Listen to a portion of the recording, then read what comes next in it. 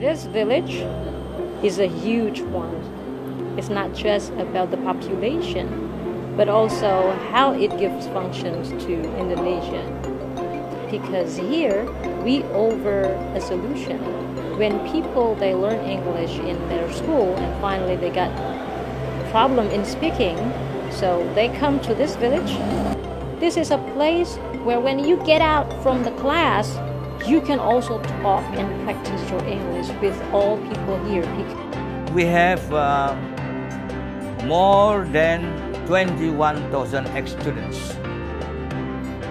since 1977 until now.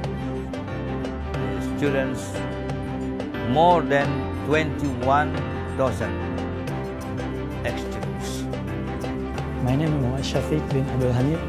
I'm from Malaysia and we came here to study Arabic about uh, for three months. This is the laboratory of life. Everything is simple.